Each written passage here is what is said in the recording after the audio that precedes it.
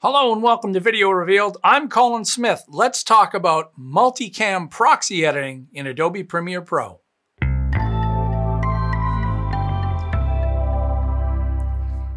First of all, thanks to Verdun Luck, who uh, contacted me and asked me about how to do this. So I went in and had a look at the best way to create proxies and create in a, in a multicam source sequence. And the difficulty is that um, what Verdun wanted to do was have an HD main sequence, but put in 4K or Ultra HD media inside it and be able to pan and scan and move around. Because in this example, he's shooting with seven cameras, uh, but he can be shooting up to 10 different cameras, and not all, of them, all, not all of them are Ultra HD. And I, I want to clarify that. I want to make sure that I stop saying 4K when I mean Ultra HD because it makes a difference. 4K is 4,096 pixels wide, and Ultra HD is 3840. The difference there is Ultra HD and HD fit together in 16 by 9 in a sequence really nicely. 4K, you actually have to tweak it a little bit because if you resize it as 16 by 9, you end up with black bars. So this is Ultra HD and HD footage together. Let's go have a look at, at uh, what I did here.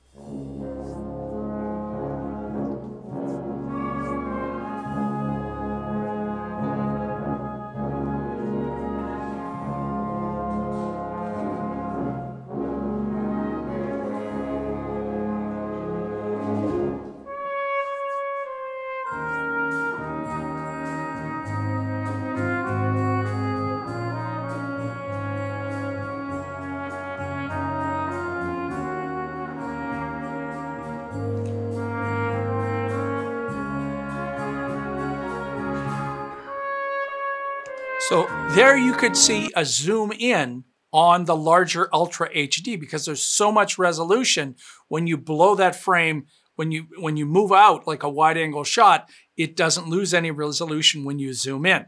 And you might also have noticed the word proxy on some of them. So of these seven cameras, three of these cameras are Ultra HD, so I had to create proxies. And one of the things you can do when you're creating a proxy, and by the way, I have a tutorial about proxies, you can add an overlay, a, a graphic overlay, just to remind yourself if you're in proxy mode or not. I'll show you that real quick.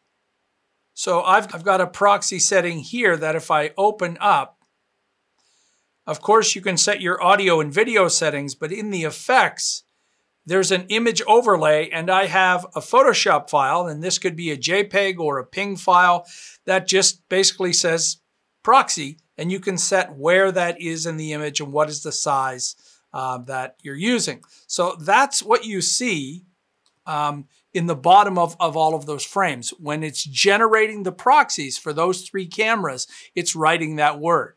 Um, okay, and then the rest are just HD together. So let's start by stripping this all back to nothing. I'm going to go over to my media and delete that completely. I'm going to open up the media folder and in here we've got, I'm just going to make this larger. There are the seven cameras and three Zoom audio recordings. The audio from the cameras themselves are not good enough for the final, but the Zoom audio recordings are very good. I'm going to select this one. You notice the resolution of this one here. I'm going to select that one, add the shift key, and then select this one and right click and choose create multicam source sequence. I'm going to name this multicam original and I'm going to sync this using the audio. The rest of these settings I'm going to leave the same. Click OK.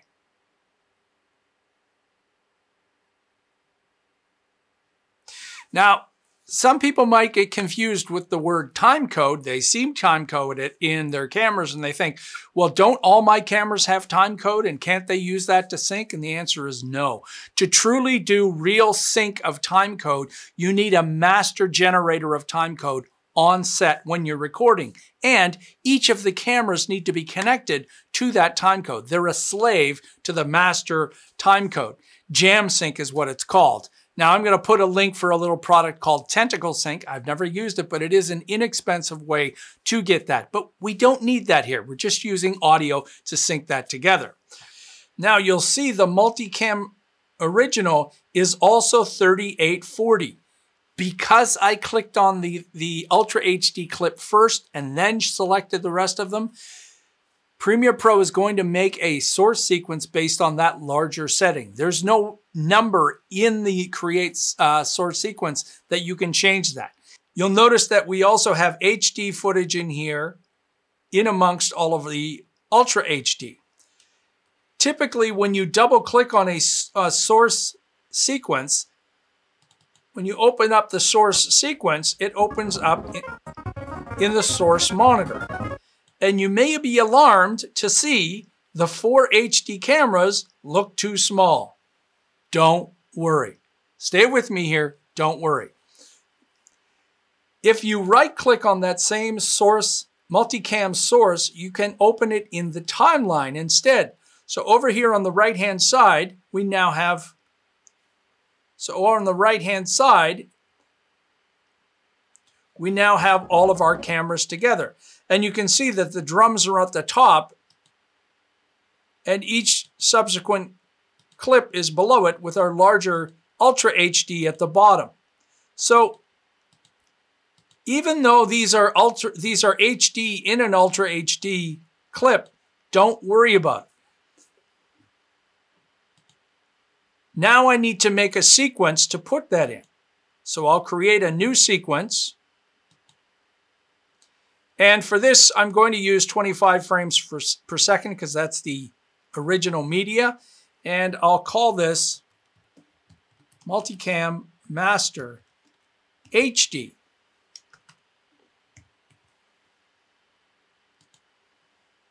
Now when I drag the multicam source sequence in here, go over to my wrench and turn on multi-camera, you'll notice all the frames are, all the HD frames are the right size. So even though the multicam source is Ultra HD with a smaller HD, by the time you get over here, it fills the frame. The three Ultra HD cameras are larger, and that's the idea here, is that we can scale them up and down. So let's have a look.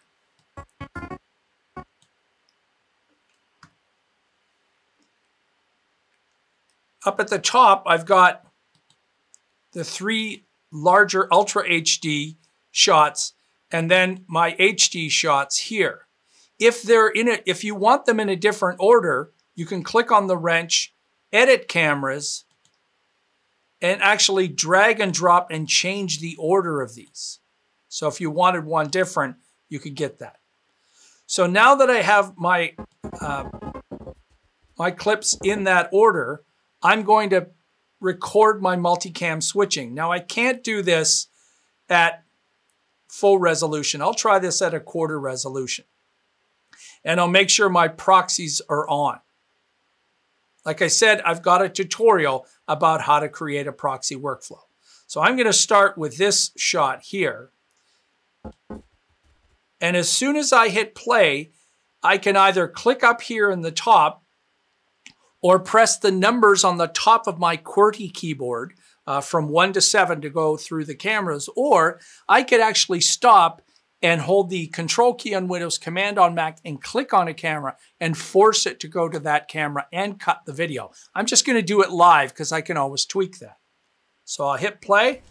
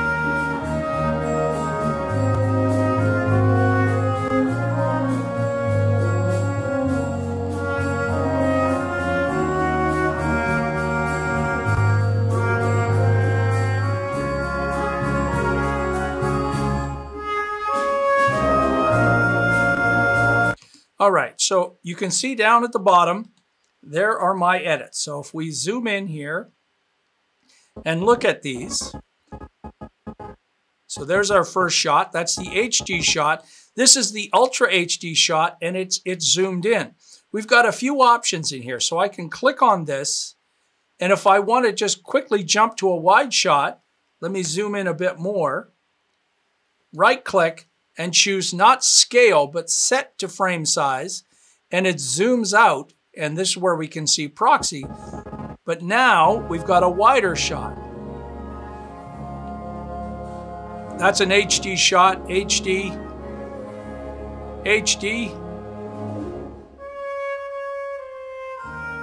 So let's make our hero shot here a little bit better. Let's go to the effects controls and we'll start zoomed out.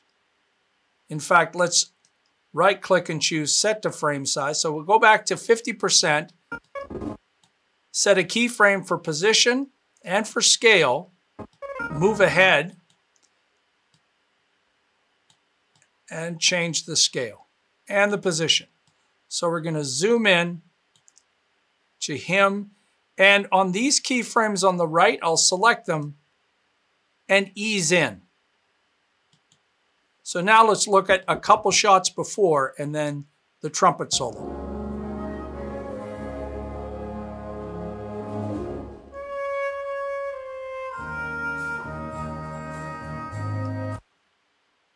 It's that easy. Let's do one more. So we Let's go to the Ultra Ultra HD shot. And how about we start on the conductor, position and scale, move out. Let's set this to 50% and reset our position. So clicking on this button resets the position back to the original and 50%. This is the equivalent of right clicking on here and choosing set to frame size. So now we've got this. You see that reveal. So we're going to push into him. Now let's pull out. Now, a couple of other things I want to show you. Because we're in multicam mode and because we're syncing this to music, this has a specific uh, uh, challenge, and that is cutting and moving cut points between different cameras. Because you have one piece on the timeline, if you want to change your edit, you can't just, well, you can freely grab a clip and move it, but then it's completely out of sync. The roll edit tool is your friend. Let me show you this. So in our tools over here, here's the rolling edit tool. And if I wanted, let's say that I wanted to go to him a little bit sooner, your first thought might be to drag this over and drag that over. But if you've got the rolling edit tool, it does both of those for you. So you're clicking and dragging that edit point. You're moving all of the cameras at once.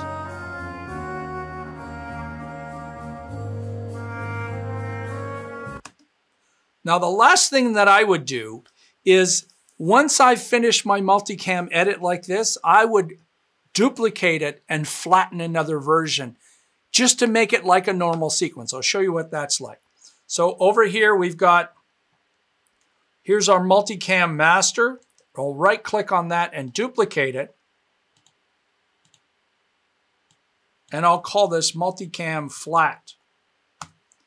And when I open that up, it's the exact same. But if I select everything, right click and choose multi-camera flatten, you'll notice the color will change and it now is broken up into a bunch of normal clips. And we don't need our multicam view anymore. This is a, a regular composite view. But this is essentially just a regular edit with a bunch of clips. You're going to miss all this, these syncing parts of things, but if you wanted to move this now, if the multicam part was locked and you're now just tweaking, you're adding graphics on top of this before you export, this might be a way to work that you like. So instead of staying in the in the multicam view, you're in this view and you've got it out. So there you go.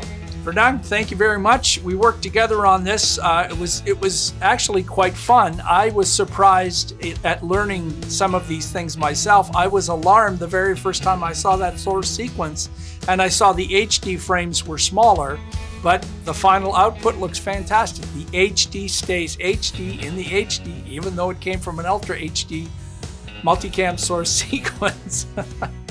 All right. So hopefully you follow this. Hopefully you can get creative. I've got a tutorial. I'll put this at the end of uh, pan and scan, the, the uh, uh, Ken Burns effect in 4K, which I think fits perfectly in this at the same time. All right. If you found this informative and if you're new to Video Revealed, take a moment and subscribe. If you want to support us some more, we're making it much, much easier now strictly through PayPal. PayPal's really easy because it's a one click on the front page and you can use a PayPal account or a credit card or even a debit card and support us for a one time payment or you can have a recurring payment as little as a dollar a month. All of it means a lot to us. We really do appreciate your support. So thanks a lot to Verdun Luck and thanks to uh, everyone else for your support. My name is Colin Smith and it's my job to get you looking your best.